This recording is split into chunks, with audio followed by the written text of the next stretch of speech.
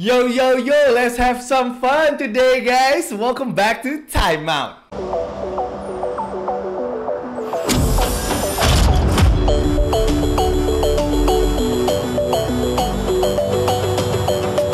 Balik bareng gue Ricky Padilla, kita kembali lagi ke Info Wasit hari ini dari si 8 Mei 2022 Tamat gengs, sebelum kita mulai tamat hari ini. Gue mau say thank you so much untuk semuanya sudah mampir tadi pagi di live chat gue. Walaupun gamenya nggak seru tapi rame guys. Sampai sempet 250 orang tadi yang ada di live chat. So shout out to everybody. And of course thank you so much untuk semuanya sudah mau join jadi member juga. And welcome to all my new members ke Discord group kita. Really appreciate the support. Hopefully nggak cuma karena giveaway aja ya. Semoga selama ya jadi member channel ini. Amin. And of course kita mulai gue mau share dulu foto dari bokap gue. Bokap gue sekarang ini lagi ada di Miami untuk meliput Formula One. Dan dia ketemu dengan legendnya Prancis dan juga NBA champion yaitu Tony Parker. Ini salah satu idola gue sih dulu pas lagi dia masih bersama Spurs. Hoki banget sih katanya orangnya baik banget. Dan tadi sempat ngobrol juga sama Tony Parker. Aduh ngirinya ngiri banget sih. Semoga besok bokap gue bisa ketemu David Beckham sih. Katanya besok ada David Beckham dan juga Michael Jordan nonton Formula One. Oke kalau gitu sekarang kita masuk ke comment of the day. Comment of the day datangnya dari Vincent TM Luka nggak takut denda kok. Soalnya yang bayar Mark Cuban Bener juga. Nih kita main lagi bahas tentang gesture yang dilakukan sama Luka tentang katanya wasitnya dibayar sama Phoenix Suns.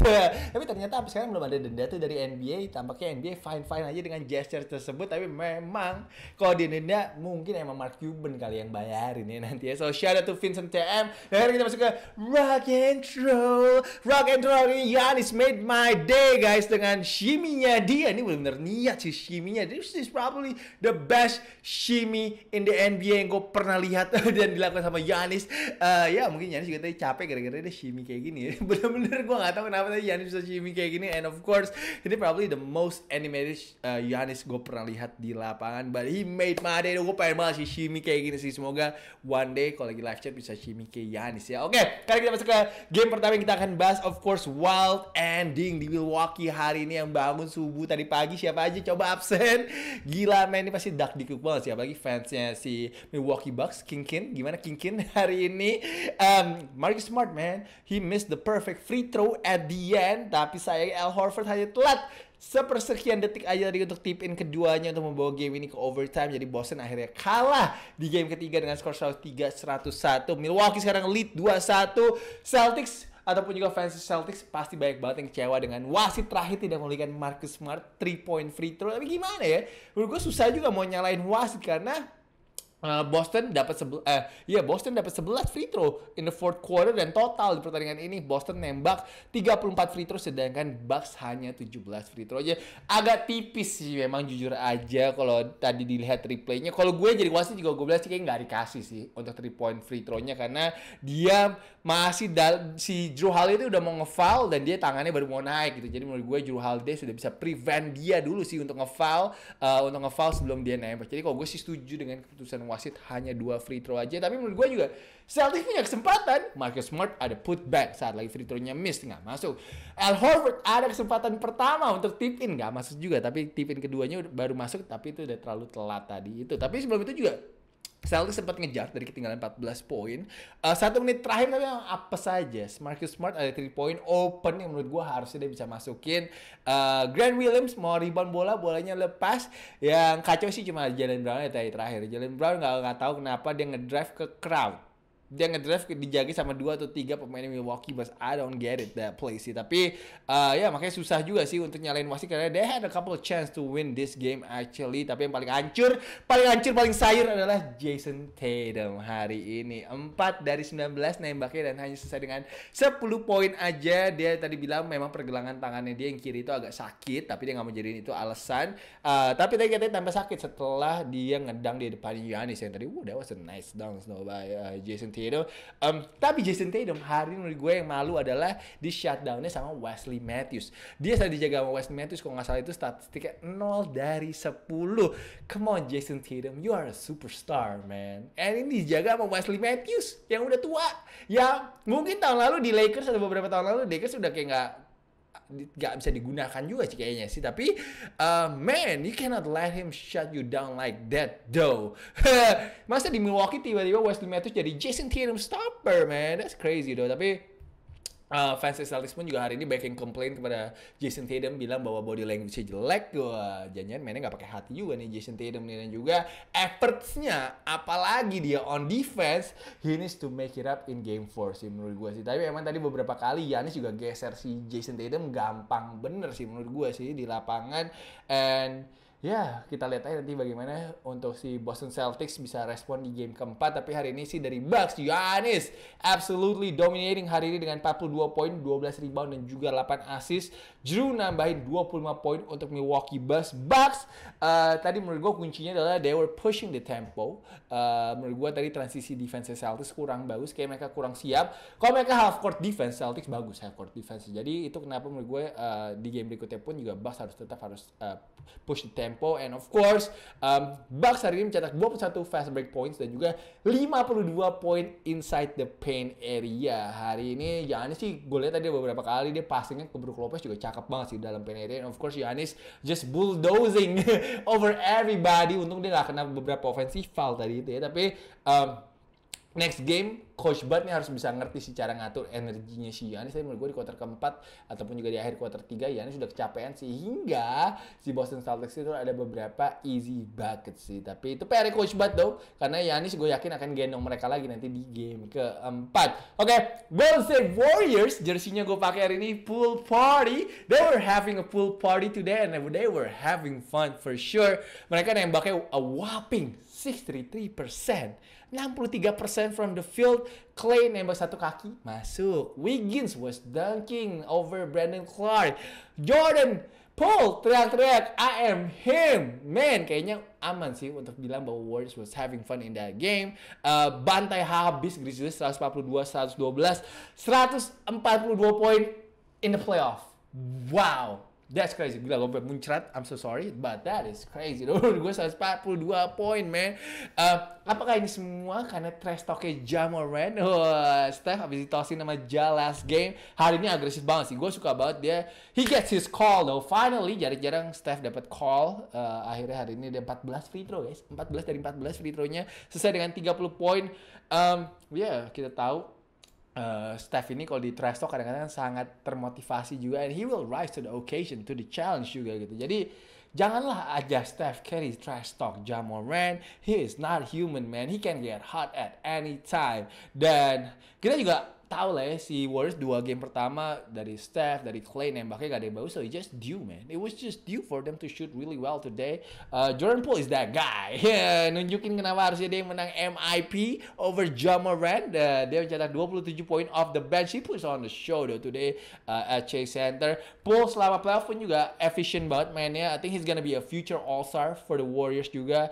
Uh, semoga ditambahin kontrak ya. Semoga dapat kontrak extension yang cukup besar. Uh, tapi spark plug banget sih. Dia benar jadi sparknya hari ini dari benchnya Warriors. Padahal tadi memang sempat slow start, tapi pas masuk dia, masuk Otto Porter, and Wiggins juga hustle banget menurut gua itu benar tadi mainnya langsung bagus. And Clay hari ini shot the ball really well juga dengan 21 poin. Tadi gua masih kredit kepada Andrew Wiggins dan juga Otto Porter. Dua pemain ini sih hustle banget sih. They both just doing a lot of dirty works yang menurut gue nggak akan ada di uh, nggak uh, akan ada di box score sih dan mereka juga always keep the ball moving dan menurut gue ini adalah the real Golden State Warriors hari ini yang main. Karena man great adjustment from Steve Kerr dan ini bola lebih muter sih. Mereka hari ini melakukan 34 assist. Uh, yeah man the ball was uh, moving beautifully. Um, kehilangannya Gary Payton Jr. hari ini bisa ditutup lah ya. Tadi walaupun pertama um, Steve Kerr itu memainkan Jonathan Kuminga sebagai starter. Kuminga sebagai pemain termuda sejak 51 tahun yang lalu menjadi starter kayaknya di NBA playoff. Kuminga sedikit struggle awal-awal tapi di terakhir-terakhir di garbage time dia ngamuk sih. Dia 18 poin total hari ini tapi kebanyakan poinnya di garbage time. Uh, kalau menurut kalian, gue pengen tanya sama Dub Nation, kalau kalian mendingan Otto Porter atau Jordan Poole yang jadi starter?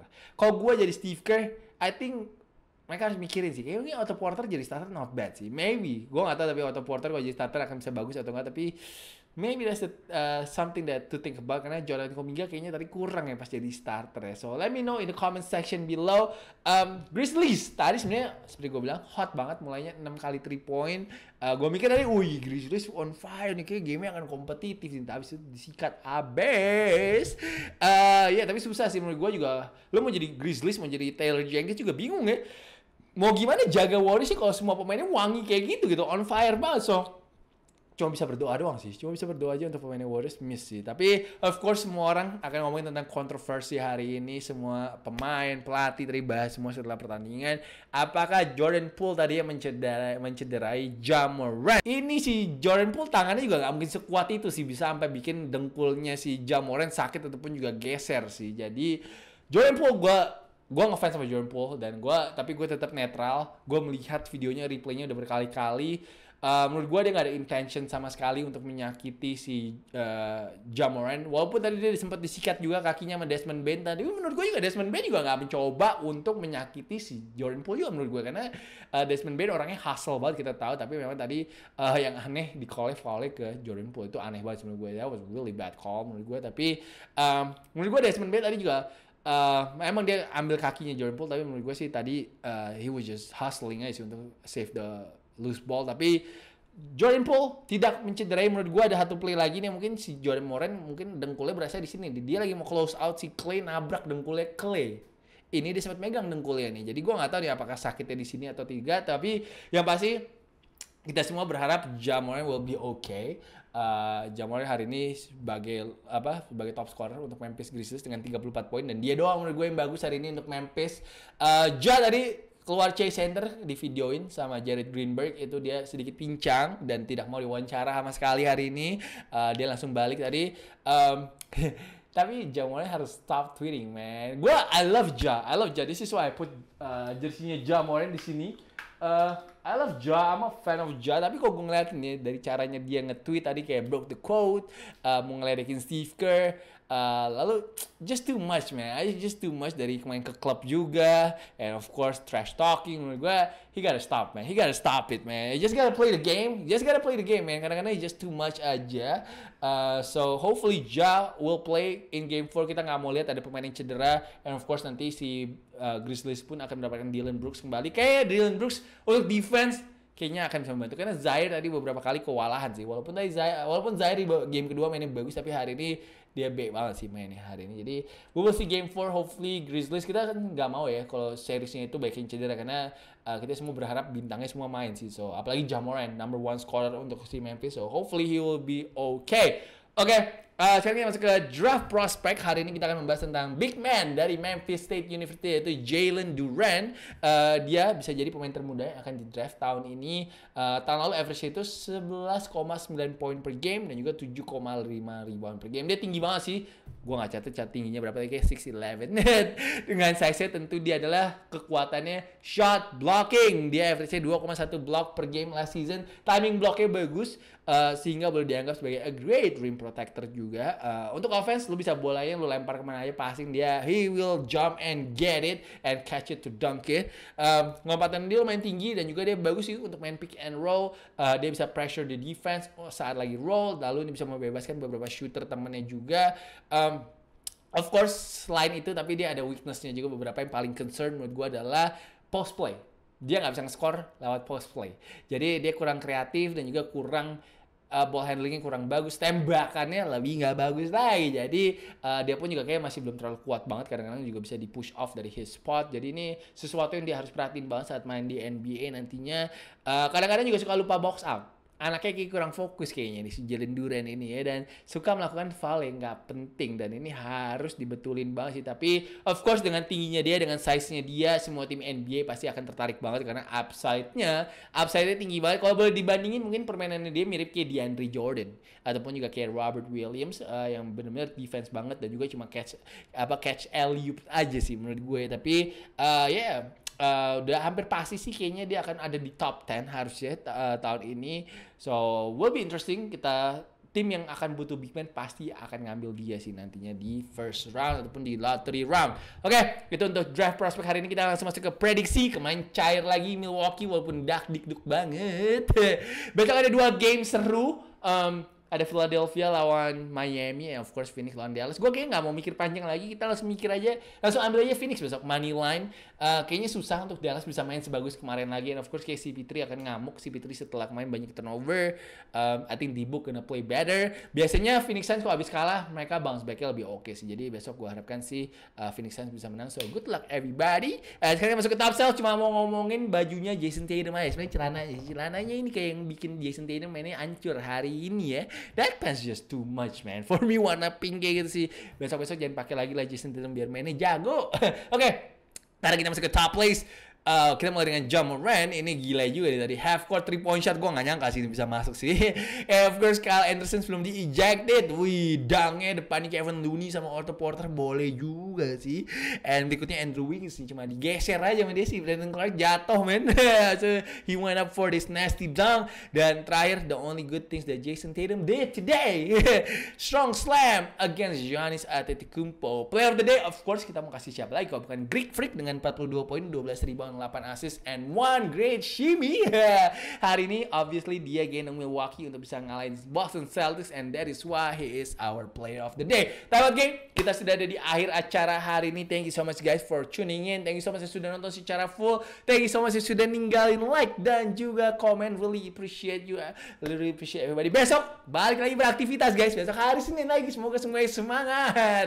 Semoga semuanya semangat besok dapat energi, dapat positive vibes semua men. Balik kerja semangat men. Uh, gue pun juga udah nggak sabar sih ke DBL Camp hari Rabu nanti ini. So hopefully gonna see couple of good players in DBL Camp. And once again guys, thank you so much for watching. Jangan lupa untuk like, jangan lupa untuk comment, and I will see you guys again very soon. Peace out.